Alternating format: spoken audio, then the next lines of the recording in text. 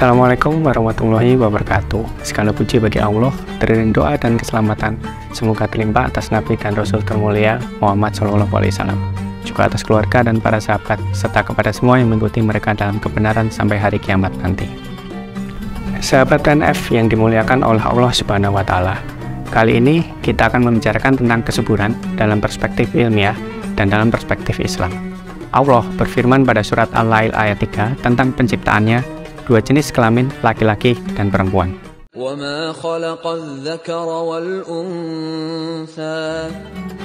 Untuk memiliki keturunan, dibutuhkan terjadinya proses kehamilan.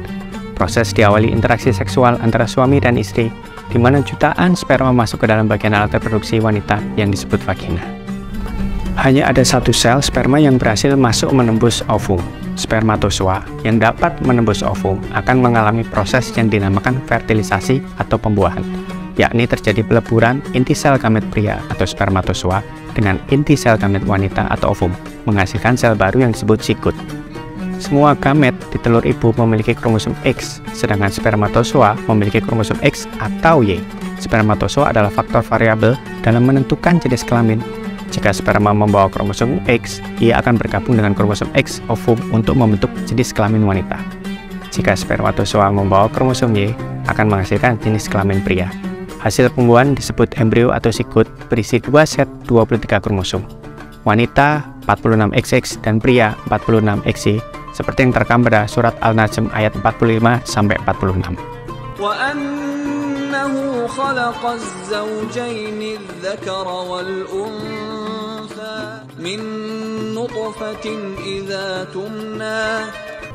Fertilitas atau yang dikenal dengan kesuburan didefinisikan sebagai kemampuan alamiah untuk mendapatkan keturunan secara biologis. Sedangkan lawan katanya adalah infertilitas, gangguan kesuburan di mana pasangan belum memiliki keturunan setelah berhubungan seksual secara rutin selama satu tahun tanpa menggunakan alat kontrasepsi. Pada pasangan muda yang sehat, sekitar 85-90% dapat mengandung dalam rentang waktu satu tahun, dan sekitar sisanya 10-15% mengalami infertilitas. Infertilitas bisa disebabkan oleh banyak hal, terkait dengan masalah pria, wanita, maupun keduanya. Sahabat PNF yang berbahagia, secara medis, infertilitas dibagi menjadi dua jenis, yaitu infertilitas primer apabila pasangan tersebut sama sekali belum pernah memiliki keturunan setelah menikah selama satu tahun. Sedangkan infertilitas sekunder apabila pasangan tersebut sudah memiliki anak, tetapi seketika akan memiliki anak yang kedua, dia tidak berhasil dalam jangka waktu satu tahun. Beberapa faktor dapat mempengaruhi infertilitas, yaitu satu usia. Kemampuan reproduksi wanita menurun drastis setelah usia 35 tahun. Hal ini dikarenakan cadangan ovum yang semakin sedikit. Demikian juga pada pria, jumlah sperma yang diproduksi jelas akan menurun. Semakin lama menikah dan tidak memiliki keturunan, semakin besar pula masalahnya. Frekuensi seksual yang idealnya 2-3 kali seminggu. Berhubungan di masa yang tepat, yaitu masa subur. Satu ovum dilepaskan oleh indung telur dalam setiap menstruasi. Peristiwa ini disebut ovulasi. Nah, masa tersebut disebut masa subur yang ideal untuk mendapatkan keturunan. Gaya hidup yang mengkonsumsi alkohol dan merokok itu dapat mengganggu oosit maupun sperma karena kedua zat tersebut akan merusak kualitas sperma maupun kualitas oosit. Kemudian berat badan yang tidak ideal baik itu terlalu berat maupun terlalu ringan. Olahraga, olahraga ringan sampai sedang dapat meningkatkan fertilitas karena meningkatkan aliran darah dan status antioksidan. Sebaliknya, olahraga yang terlalu berat bahkan menurunkan fertilitas baik pria maupun wanita. Stres berlebih juga akan bisa berpengaruh terhadap kesuburan pekerjaan, beberapa pekerjaan berbahaya seperti contohnya yang terpapar sinar X berlebihan atau zat-zat radioaktif dapat berbahaya untuk kesuburan juga. Sahabat PNF, faktor-faktor penyebab infertilitas itu bisa dari faktor wanita, yaitu gangguan ovulasi, kemudian gangguan tuba, kemudian gangguan yang tidak bisa dijelaskan, kemudian gangguan dari contohnya seperti dari rahim. Yang kedua adalah faktor dari pria, kalau dari pria, faktornya adalah faktor spermatozoa. Dalam Al-Quran, infertilitas diungkapkan dengan dua kata, yaitu akhir dan akil. Ada berbagai cara untuk meningkatkan kesuburan yang terbukti secara ilmiah dan diperbolehkan dalam agama Islam. Yang pertama, meningkatkan kesuburan secara alami dengan konsumsi makanan untuk meningkatkan kesuburan. Contohnya, sayuran hijau, mengkonsumsi berbagai macam vitamin seperti vitamin A, D, E, B6, vitamin C, zat zinc, zat besi, fosfor, selenium, dan asam folat. Terapi alternatif contohnya bekam dan akupuntur. Bayi tabung adalah istilah untuk bayi yang didapatkan dari proses pembuahan sel telur oleh sel sperma di laboratorium alias in vitro fertilization. Pembuahan itu bertujuan menciptakan embrio-embrio calon bayi.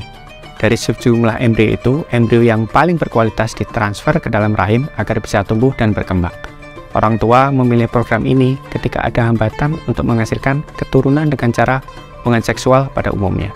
Patut digarisbawahi bahwa anak hasil bayi tabung tidaklah berbeda dengan anak lain yang lahir dari proses hubungan seksual biasa. Program bayi tabung dilakukan ketika pembuahan tidak mungkin dilakukan dalam rahim. Caranya, sel telur wanita dan sperma lelaki diambil untuk menjalani proses pembuahan dalam sebuah tabung yang direkayasa dan dikondisikan agar menyerupai kondisi rahim yang asli. Begitu pembuahan berhasil, bakal janin kemudian akan dikembalikan ke dalam rahim wanita. Setelah itu, proses kehamilan berlangsung sebagaimana biasanya. Ajaran syariat Islam mengajarkan kepada manusia untuk tidak boleh berputus asa dan menganjurkan untuk senantiasa berikhtiar dalam menggapai karunia Allah Subhanahu wa taala. Proses ini dibolehkan oleh Islam sebab berobat hukumnya sunnah dan di samping itu proses tersebut akan dapat mewujudkan apa yang disunahkan oleh Islam yaitu terjadinya kelahiran. Berdasarkan penjelasan di atas, Pandangan Islam mengenai bayi tabung dapat dijelaskan sebagai berikut. 1. Islam membenarkan bayi tabung apabila dilakukan oleh pasangan suami istri yang sah. Yang kedua, Islam mengharamkan jika bayi tabung dilakukan dengan bantuan donor, baik itu donor spermatozoa, donor ovu maupun dengan rahim pengganti atau surrogate mother.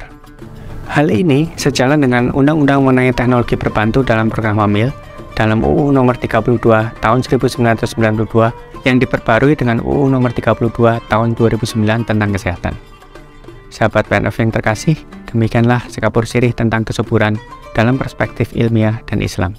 Semoga bermanfaat, semoga Allah Subhanahu wa selalu memberikan kekuatan, keberkahan dan kemanfaatan kepada kita semua agar ibadah puasa dan ibadah-ibadah lain penuh dengan nikmat dan syukur. Amin ya robbal alamin. Terima kasih. Selamat menunaikan ibadah puasa Ramadan.